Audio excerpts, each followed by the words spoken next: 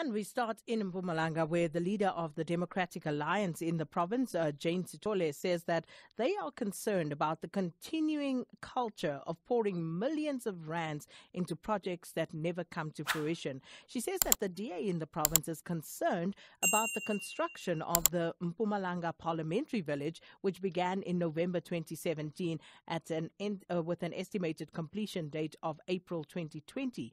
Well, the project has been plagued by delays and is still not complete. And its construction budget is also said to have ballooned from the initial 300 million to 550 million. So, for more on this, we join on the line uh, by uh, Jane Sithole, leader of the DA in Mpumalanga. Ms. Sithole, thanks so much for your time. Welcome to Update at Noon. Good afternoon, and good afternoon, Sakina, and the listeners. Thank you very much. So, uh, as you say, obviously of concern, uh, the ballooning cost mm. for this mm. particular project. But I'd like to go a few steps back and just find out what was the rationale for this project to begin with? Uh, if you look at the idea of the project, it was actually uh, uh, done on a very reasonable, uh, um, you know, reason, a reasonable reason why it should exist. Now, members of the legislature in Mpumalanga are renting, or the, the, the government is renting houses all over Mbombela for them.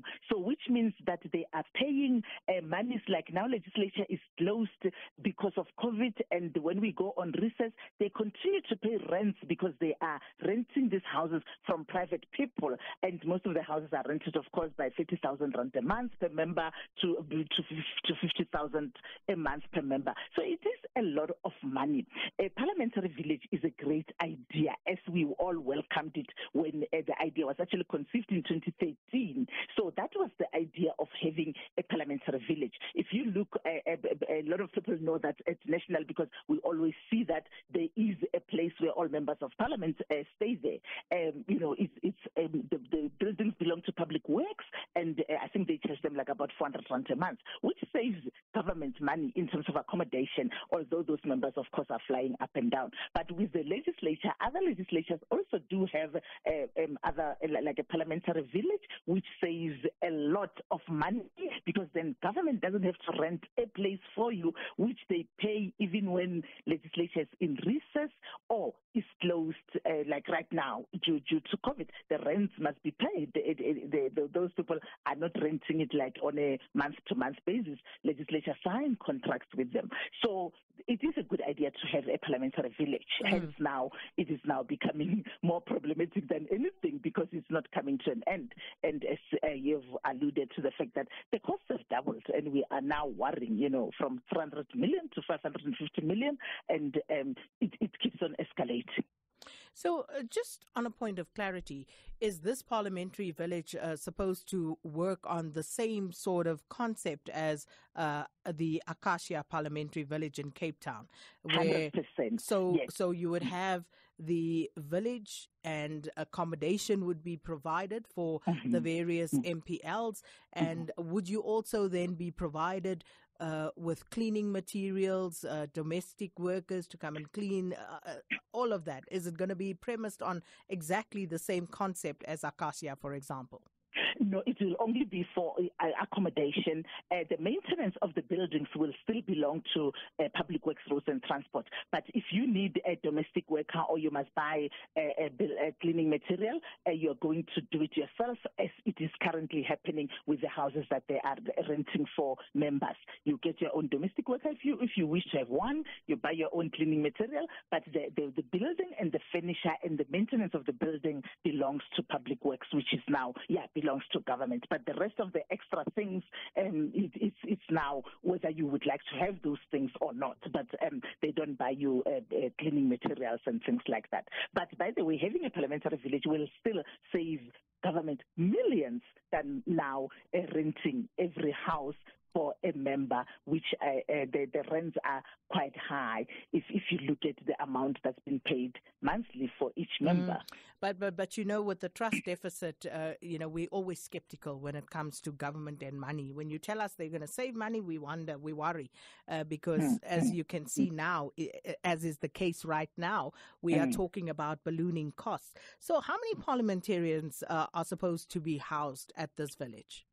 At village, um, they, they, were now making 31 units. We've got 34 members of parliament, including the premier and the speaker, and who will be most probably accommodated differently. As even now, the houses that they rent for members and and the other uh, uh, members that rank higher, like the speaker and the premier, it's not the same. So it it will work uh, um, along those lines. It is um, it, it is supposed to have 31 units, which um, then will accommodate almost all, all the members except except maybe those two or three, like the premier who might not want to live with um, the rest of the people, but otherwise it will be able to accommodate uh, all members if it gets completed at any point, uh, because at this stage it's been a feasibility study after another, uh, which is just costing millions and there's no progress. So, so is this basic accommodation? Because uh, you know, if we're talking about a cost of five hundred and fifty million already, for 34 units, uh, uh, well, that's not cheap. No, it's not. It's supposed to be basic uh, accommodation, Sakina. If, if anyone has ever been to Acacia, you will know that it's basic accommodation. It's not supposed to be a, um, um, lavish accommodation with um, really uh, any, anything extraordinary. It's supposed to be the, the accommodation, the idea of having accommodation or that government provides accommodation to members, it's for them able to get to Cape Town and work or, or to be able to get there and work. If you look uh, now, when Parliament is closed. Acacia is probably empty. You may find one or two members, but because government is not renting it from anybody, they are not uh, losing money at the stage when members are out of those houses, uh, most probably at home due to COVID or whatever that is going on.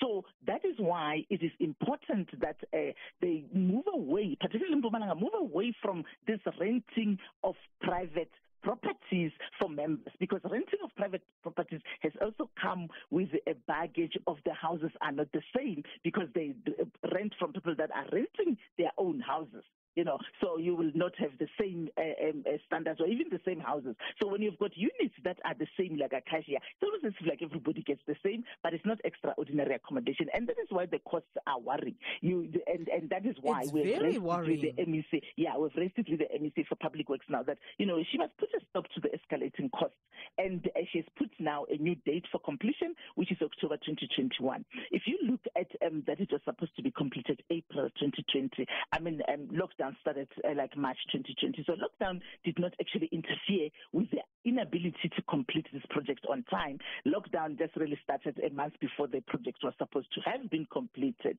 So now that she, she, she you know, they keep on putting a new deadline, new deadline. And that is why uh, uh, now we've requested the MEC and even the Premier that the escalation of costs must stop. It doesn't match the work. If you look at the amount now, almost doubling, it doesn't match the work that is going on there. So, uh, and, it, and you know, in Mpumalanga, it looks like, you know, it's, it's just a culture to come up with this great projects like uh, the High Altitude Center or the School for the Deaf, where it's only feasibility studies that are happening and um, the, the work doesn't match the amount. Um, some of these projects never even take off and, you know, would have spent like 750 million, like the High Altitude Center that was supposed to be in Belfast. 750 million gone. There's not even a foundation.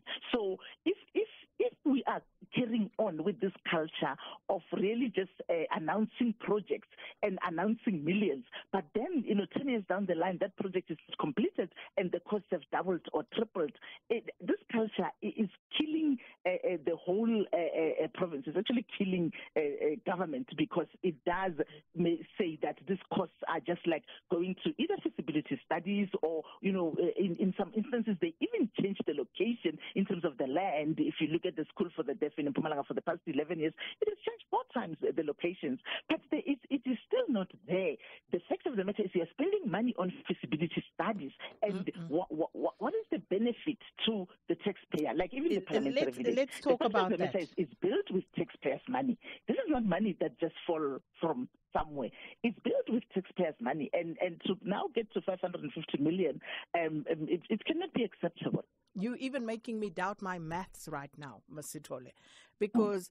I actually thought, no, I must have put in an extra zero or two in this 500 million. You, you I actually was sure when I, uh, you know, put it in, and then I started doubting myself because 500 million divided by 34, because mm-hmm. we're talking about 34 parliamentarians will be housed here, mm-hmm.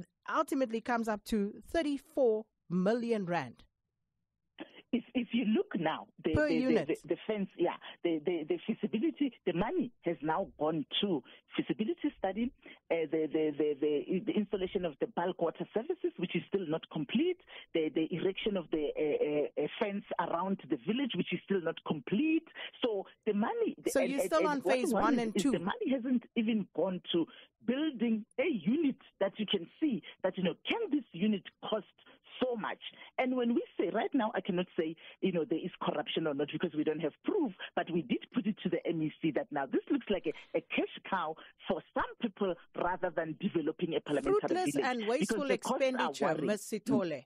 You mm. cannot justify 34 million rand, and I know not all of it goes to any particular unit. There mm, are the mm. issues mm. that you mentioned bulk mm. infrastructure, security, and other costs. Mm. But if we are just working on it as such, saying that this village is meant to house 34 parliamentarians mm-hmm. and you are building these houses. So it comes to 34 m- million rand. Exactly. Each. That's, that's that scary. cannot be justified to the South African public. No, it can't. And that is why we had to take it up because if you make the calculations, it's actually shocking. And um, it's taxpayers' money. That is why we had to raise it and say, this is very concerning. The, the, the, the amount is just really, is ballooning. It's not even escalating. It's ballooning. And who is benefiting uh, from this? As I say, I don't want to run with something that I don't have proof of. But if you look at this, even anybody making calculations, you can see that, you know, uh, uh, something is wrong here. It cannot be that the, the, the costs are almost doubling and there is not even units that we can point at this stage. Also, phase one and phase two have not yet been completed from what I've been reading. Exactly, exactly. That's exactly our point. That you know, the work, the, the money doesn't match the work.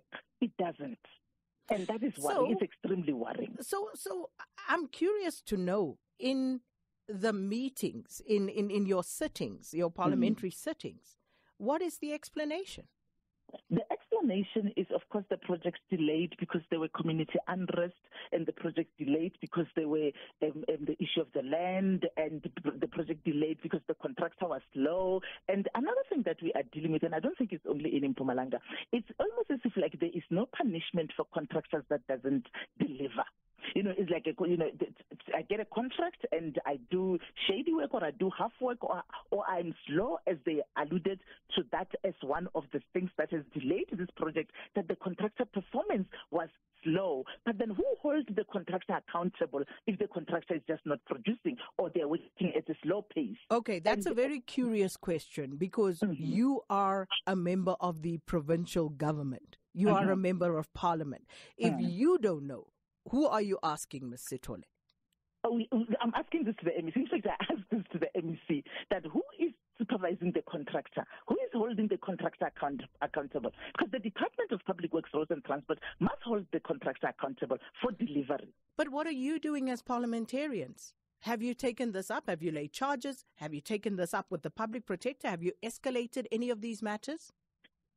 Escalating the matter is exactly what we did now. That is why it's now with the Premier and we've asked specific questions because that is our role to play that oversight, to say if this is the situation, and that is why you and I are talking about it now, because we brought it up to say this cannot be, this doesn't make sense that it's, it is now 550 million. And on our oversight to the, ex, the actual parliamentary village, that is why I can say to you that the work doesn't match the amount, and that is why we've brought it up, because we did an oversight at the parliamentary village, and we've seen for ourselves that there's, there's something wrong here. This doesn't match what we're seeing on paper as reported by Public Works. And that is why we, we've taken it up.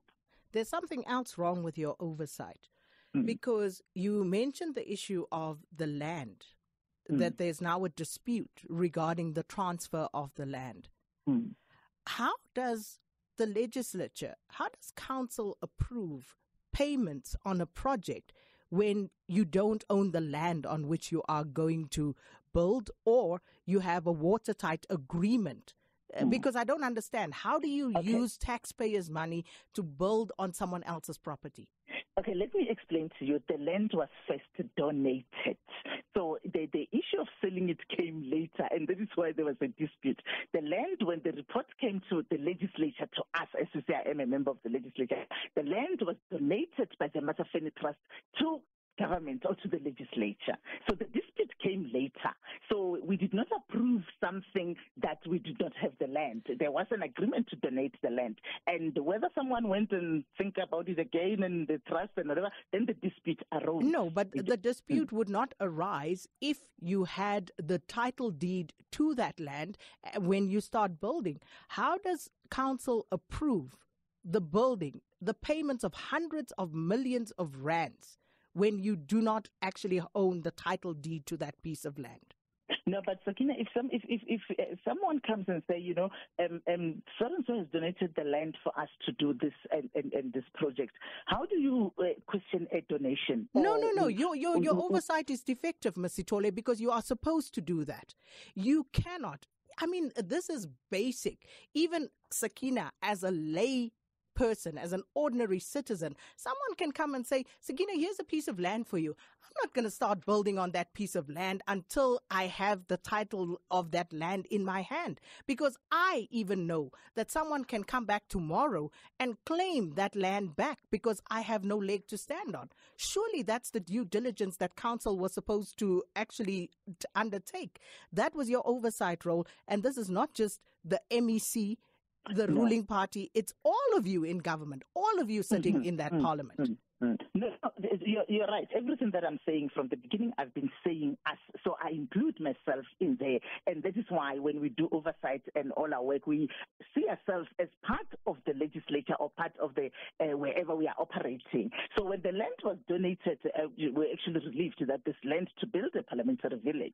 So the fact that we did not do uh, go and do a search for, for the for the title deed, that's um, a, a, different story. Maybe we should have done that, but the land was donated. Not maybe. It you should have done yeah. it. You mm. it should have been done, not maybe.